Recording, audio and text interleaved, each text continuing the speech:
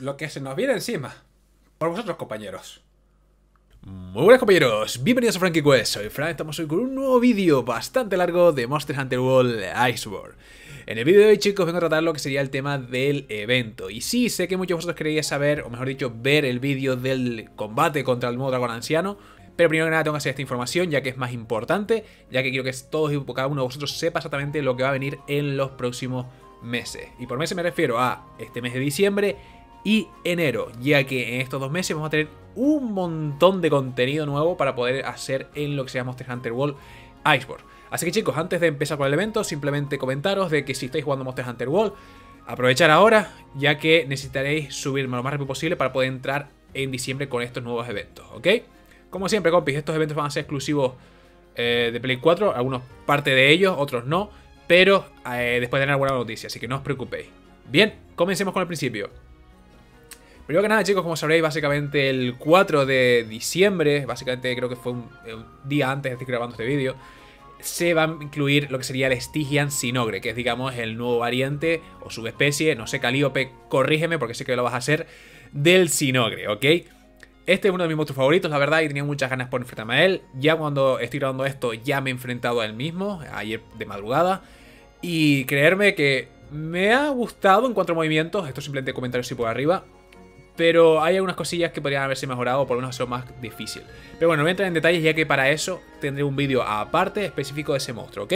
Simplemente comentar rápido por encima. El Stygian Sinore lo que va a tener de, nuevo va a ser que va a tener la plaga antidraco, si lo comparamos con el, Sinore normal. Y cuando se bufa, cuando estemos que vemos que tiene ese efecto rojo, va a ser más susceptible a elementos, ¿vale? A cualquier tipo de daño de elemento. En concreto tenéis que mirar su tabla de tipos y ver cuál es su habilidad en concreto para poder aprovecharlo al máximo posible. Bien, aparte de todo esto, chicos, también se meterá lo que sería el tema de armadura nueva del Sinogre Estigio, que la llama Stygian Sinogre, básicamente la armadura. Y en cuanto a habilidades son muy parecidas a las anteriores, del Sinogre anterior, pero con alguna variante que otra, ¿vale? Digamos, la habilidad especial es la misma, pero algunas habilidades nuevas. Para mí, en cuanto a vista rápida no me llama del todo la atención, pero oye, en cuanto a diseño me mola bastante. Bien, después de esto, compi, saltamos directamente a la siguiente noticia. Y es el tema de que, por fin, ya yo lo comenté en el vídeo anterior de evento, que sí, que iba a entrar, obviamente, era más que evidente que iba a entrar el nuevo zona del hielo en las tierras del destino, pues básicamente se ha confirmado, ¿vale? Y que también aparte sabremos ya sin cierta que va a estar el Vario y el Tobikachi Viperino. Eso van a estar sí o sí.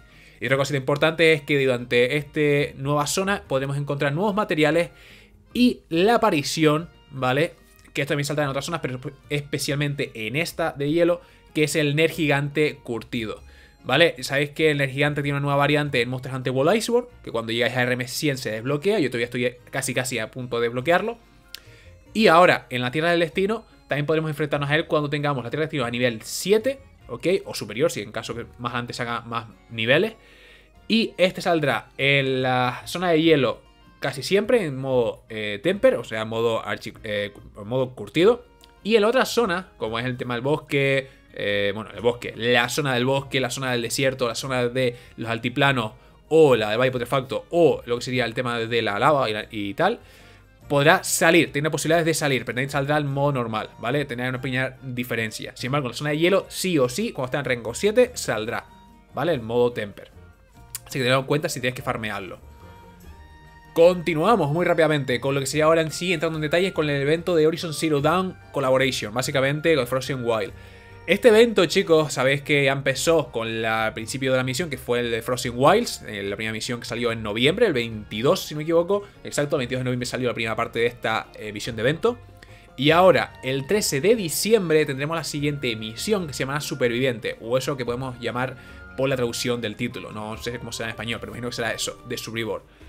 Eh, esta misión nos va a traer básicamente una nueva armadura completa, con una habilidad especial que se llama escudo temporal, o esa traducción literal que le he dado yo, que nos servirá para una nueva habilidad que va a incluir también la ballesta ligera. Una nueva habilidad especial que sustituirá la habilidad eh, de la ballesta ligera, o sea, sustituirá el tema de poner las minas en el suelo, ¿vale? Weaver, no sé cómo se llama, Weaver Blast o algo así creo que se llamaba en, inglés, no estoy seguro al 100%.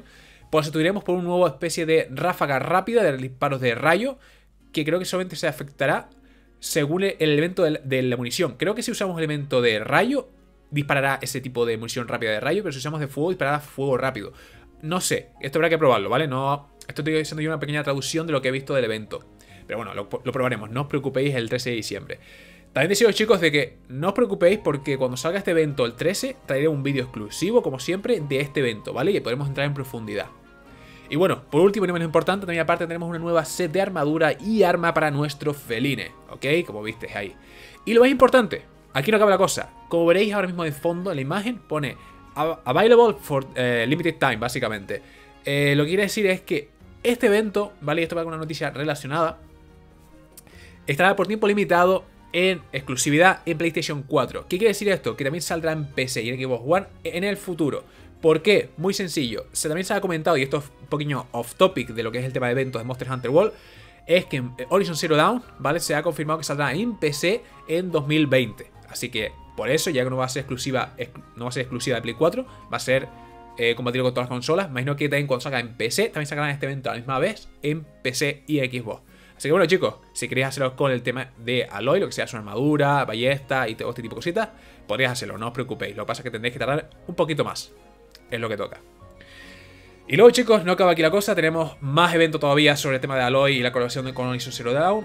Y es que luego, después del 22, perdón, después del 13 de diciembre, el 27 de diciembre entrará la tercera parte de este evento que se llama Cortafuegos, o es menos la traducción literal que le he dado, con la cual podemos hacernos la armadura de Baku Plus. Si fijáis el evento anterior, tenemos la armadura de Aloy completa, un set de armadura completo, pues aquí ahora nos va a dar piezas de armadura, por lo cual podemos combinarlo con otras armaduras que tengamos, lo cual está bastante bien. Y también tendremos aparte colgantes de diferentes colores, ¿vale? Como muy parecidos al que tuvimos en el evento principal, el evento primero, pero con, digamos, colores violeta, verde y no me acuerdo más cuál era, estoy haciendo un poco de cabeza. Les pondré imagen igualmente por encima para que lo veáis. Y también aparte tenemos la armadura del Feline del primer evento de Horizon Zero, eh, primer evento de Horizon Zero Dawn. ¿Recordáis el que hicimos hace bastante tiempo de Monster Hunter World? Bien, pues esa armadura del Feline se va a poder mejorar, o mejor dicho, se podrá crear una nueva para rango maestro, ¿vale? Y también aparte podemos mejorar nuestro arco, si recordáis el arco de Aloy que hacíamos en su momento, ¿vale? Pues ahora podemos craftearlo y subir un nivel más para llegar a rango maestro, para poder usarlo en rango maestro, sin más. Y bueno chicos, básicamente como sabréis estos eventos van a estar limitados por tiempo y luego tenemos que esperar al típico evento temático para poder rehacer esos eventos cuando salga la lista de misiones. Pues como digo compis, básicamente eh, del 22 de noviembre al 13 de diciembre tenemos la primera misión, del 13 de diciembre al 27 de diciembre tenemos la segunda y del 27 de diciembre a creo que es el 20 y pico de 9 de enero puede ser, tenemos la tercera. Chicos, yo durante este tiempo, ¿vale? Estaré todos los sábados si puedo, a lo que sea la chascueva, como llamamos, como llamamos nosotros, que es en el, nuestro Discord de Monster Hunter, estaré por ahí. Si alguno necesita farmear piezas de este evento, chicos, aprovecharme ahora, ya que lo podré hacer sobre la marcha. Yo estaré farmeándolo durante todo este tiempo y haciendo estas misiones, así que aprovechar, chicos, y también hacerlo conmigo, ¿ok? Sin más, os invito, como siempre, tenéis enlace de Discord en la descripción. Si no me, si no me olvido, vosotros también, si eso, de poner un comentario con enlace fijado para que también vosotros podáis acceder rápidamente desde un comentario fijado. Y poco más, chicos. Simplemente comentaros esa pequeña cosita porque si queréis hacerlo con ayuda o compañía, ahí estaré, ¿ok? Os meteré a la brigada, como siempre, y todo el tema. No os preocupéis. Bien, sigamos con el tema de los eventos. Ya hemos terminado con Horizon Zero Dawn. Nos quitamos esta parte, este pequeño bloque de encima. Vamos a lo que sería el siguiente. Eh, con todos estos eventos nuevos, chicos, van a traer también aparte la guinda del pastel, que es el tema de las armaduras superpuestas. Que esto ya lo tenemos disponible, ¿vale? Todo cuando estoy comentando esto ya está disponible. Las armaduras superpuestas que tenemos nuevas van a ser todas de rango alto, ¿vale? Así que podéis haceros, si os gusta mucho el tema de la armadura de Odogarón, que sé que es una de las preferidas que a todo el mundo le gustaba, pues ya podréis hacerosla, ¿ok? Sin ningún tipo de problema. Tenéis que farmear el Odogarón en las tierras del destino para poder sacar esos materiales exclusivos, pero la podéis conseguir sin muchos problemas, creerme. Pero ahí te podemos hacer también armadura del Sora, podemos hacer una armadura del Gigante y algunas que otras.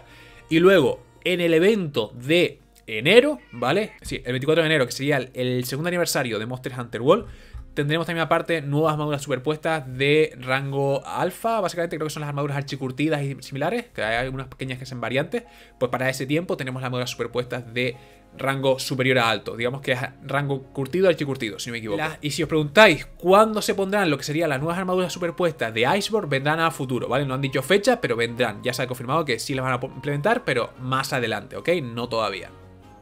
Otra cosa que ha sufrido unos ligeros cambios, chicos, ha sido las tierras del destino, las cuales ahora tendrán la oportunidad de poder reducir nuestro nivel de, eh, de tierra, mejor dicho, de bioma, manualmente. Esto está bastante bien, ya que si queréis farmear un monstruo en concreto, en un rango en concreto, será mucho más sencillo, ¿vale? Simplemente tenemos que ir a nuestro, digamos, nuestra encargada, hablar con ella y ella nos permitirá reducir el nivel en caso de ser necesario.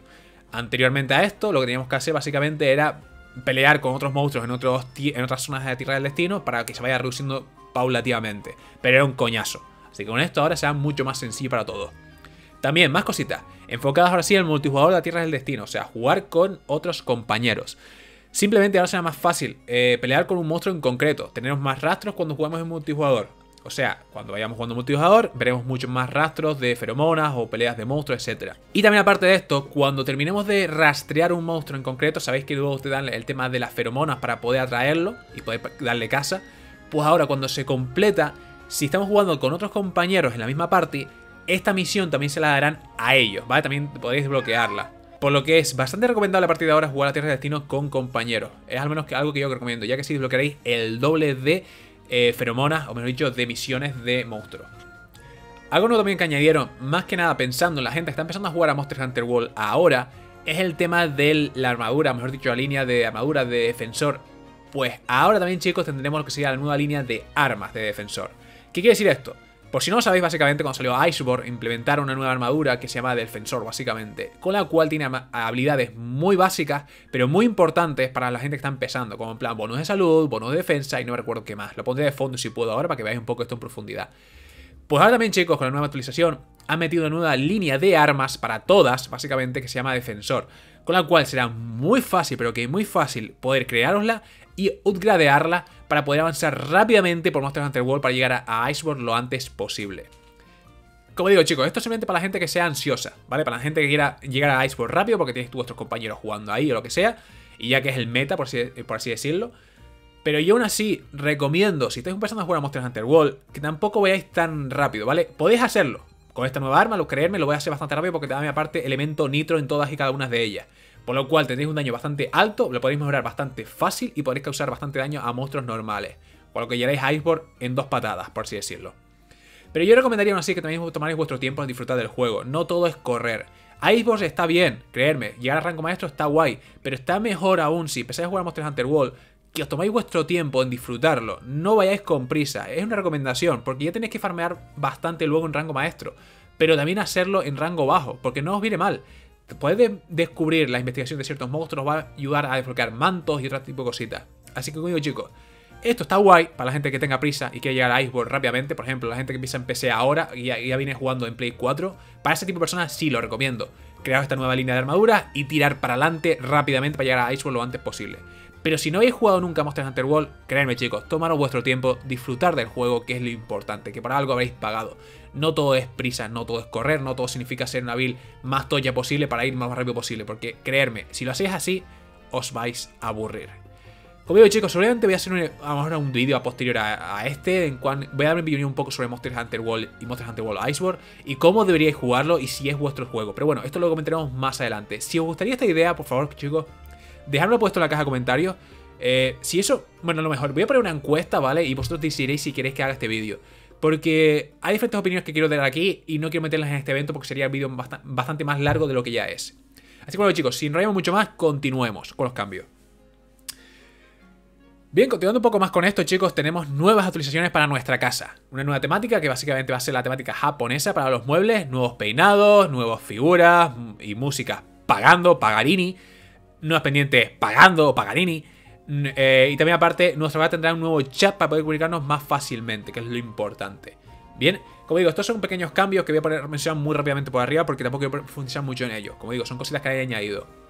Pues sin más, simplemente nuevas decoraciones, música, nuevos diseños para nuestra tarjeta de escuadrón, de brigada, colgantes, eh, nuevos colgantes. Eh, ahora podemos también aparte mejorar una armadura a nivel máximo automáticamente con las frenas de armadura disponibles. O sea, no tenemos que ir subiendo nivel a por nivel, sino directamente podemos subirlo al nivel máximo del tirón. Nuevas poses de armas equipadas, esto también está bastante bien, bastante chula. Que según el arma que tengamos equipada podemos hacer una pose diferente. Y más facilidad para obtener ciertas joyas. Pondré la lista ahora por pantalla para que sea más sencillo, chicos. Como digo, estos son cosas, pequeños cambios que han añadido que están bien, pero no me parece mucho en profundidad a comentar cada uno de ellos. Porque todavía nos queda dos cosas más a destacar. Y ya acabamos el vídeo, no, os preocupéis, ya no se hacer mucho más largo. Que son los dos eventos que entran después, ¿vale? Que sería el evento de Joy Fest y el evento del segundo aniversario de Monster Hunter World. El evento del Joy Fest entraría el 20 de diciembre, o el evento del faroles, como decíamos nosotros en vídeos anteriores. Con el cual vamos a tener todo lo que sea Astera, perdón, todo lo que sea no, la zona de Astera común y la zona de Selenia común y nuestro hogar propio va a tener, en Selenia, por supuesto, va a tener una nueva reedición o nueva eh, temática de lo que sería el evento este de Joy Fest, que sería algo plan japonés, ¿ok? Aparte de esto, chicos, también tenemos disponibilidad de poder hacer lo más importante de todo, PvP de bolas de nieve. Aquí pequeño girito. Exacto, vamos a tener PvP de bolas de nieve. O sea, vamos a poder, como recordáis, en eventos anteriores de Monster Hunter World, nos daban eh, eh, voladores, por así decirlo, o, voladores, o como se llama, fuegos artificiales, para que me entendáis, porque voladores en canario. Eh, fuegos artificiales. Pues ahora tendremos lo que sería una especie de snowman, que podemos ponerlo en medio de las, las zonas que tenemos por ahí fuera, en plan de nieve o lo que sea y en el cual podemos recolectar unas bolas de nieve y poder jugar con nuestros compañeros a tirarnos bolas de nieve y darnos headshot, y, etc. Vamos hacer PvP de bolas de nieve. Y el que más bolas de nieve reciba se pondrá una especie de cabezón de Snowman encima de la cabeza, en plan eh, el de loser, por así decirlo. no se ocurre otra cosa. Luego también, chicos, eh, importante. Durante este evento temático y el siguiente también, si nos equivocamos la armadura en concreto, en este caso la Ulong Alpha Plus, obtenemos más fácilmente tickets de evento. O sea, la idea sería lo siguiente. Cuando empecemos este evento, farmeamos la armadura de Oblunk, Alpha Plus, y luego la, equipamos para poder tener más tickets de evento. ¿Vale? Es así de sencillo. Simplemente en vez de darte uno, te darán dos. O eso es la idea, por lo menos lo que he traducido de este evento. Estaría bien hacerlo. Ya lo probaremos en profundidad cuando salga. También con estos tickets podemos usar eh, para obtener armaduras superpuestas, especiales de equipo, nuevos pendientes, nuevas armaduras superpuestas raras, eh, nueva, no, perdón, eh, sí, nuevas armaduras superpuestas de evento y nuevas armaduras superpuestas que incluirán aparte, que creo que son las, las alfa, lo como digo, de eh, curtido, archicurtido. Tenemos nuevas armas raras, eh, por armas raras me refiero al tema de un pico, una especie de muslo de pollo, una masa con fuego, no sé muy bien lo que es, la cabeza del pingüino, etcétera, todo ese tipo de cositas. Tendremos nuevas poses y background y títulos para nuestra tarjeta, también tendremos nuevo traje para el PUI temático, obviamente nuevos objetos para, eh, en las Teamworks, ¿ok? En las Teamworks básicamente la máquina esta en la cual podemos eh, usarla para sacar materiales y objetos. Y todo lo visto en eventos anteriores, temáticos. Como por ejemplo el tema de recibir dos vales de suertudo cada día, eh, eventos diarios, mejor dicho, misiones diarias, con el cual recibimos tickets de evento. Y todo ese tipo de cositas, como digo, nuevas comidas, etc. ¿Vale? Todo lo que hemos visto en eventos anteriores en Monster Hunter World. No, eso no ha cambiado. Y luego, el 24 de enero, que ya que sea lo último de esta parte de noticias. Uff, hay que coger aire, ¿eh? Tendríamos que seguir el segundo aniversario de Monster Hunter World. O sea, ya ha cumplido dos años Monster Hunter World eh, con este nuevo evento temático. El segundo aniversario, de ahí el nombre. En el cual se decorará todo lo que sería Selenia, o lo que sería Selenia, la parte de comunitaria y Astera. Y también la parte de nuestra hogar, con una temática futurista. En verdad, la temática futurista más que nada es por los trajes. Porque lo que es la temática de la, zona va a ser más bien farolillos. En plan, me recuerda simplemente al Final Fantasy X cuando ahí está despidiéndote de los, ah, de los muertos y tipo de cosas. Con el tema de lanzar un farol eh, volando, ¿vale? No sé si habéis visto esta típica temática japonesa. Pues básicamente es eso. Y también aparte lo mismo que antes. Si nos vamos con la armadura especial de este evento, que es la Astral Plus, conseguiremos más tickets temáticos, ¿vale? Simplemente. El resto de cosas más de lo mismo. Básicamente más de todo lo anterior. O sea, nuevas armaduras superpuestas, nuevas armaduras raras, nuevas poses, background, títulos para nuestra tarjeta, nuevo, traje para el Puggy, nuevo traje para Steamworld. Eh, todo lo que dije anteriormente, pues lo mismo para este nuevo evento. Como digo, van a venir bastante de todo. Y algo bastante interesante y que todavía no sé muy bien cómo se va a poder hacer, es que nuestro personaje va a poder equiparse las orejas wiberianas. O sea, va a poder transformarse en un wiberiano. Que lo cual me mola bastante. En cuanto metan esto voy a cambiar mi personaje sí o sí. Ya que todavía tengo cupones de cambio de sexo y similares. Así que si es simplemente un cambio de sexo o algo, lo veremos y nos, seremos, nos convertiremos en Wiberiano. Por supuesto. ¡Yay! Pues chicos, básicamente... A colocarme que me ido el frame. Chicos, nos hemos terminado con este evento. Como veis ha sido bastante largo, bastante complejo. Como veis, hemos metido un montón de temáticas. Hemos comentado todo. Pero me repito una vez más, no os preocupéis chicos porque cuando vaya saliendo cada uno de ellos tendremos un vídeo exclusivo, ¿ok? Para comentarlo en profundidad. Ahí comentaremos todo el tema de la armadura superpuesta, la armadura que van entrando, el tema de las armas, todo. Todo lo que he comentado hasta ahora en plan resumido en bulto, porque no me ha dado tiempo a hacer mucho más.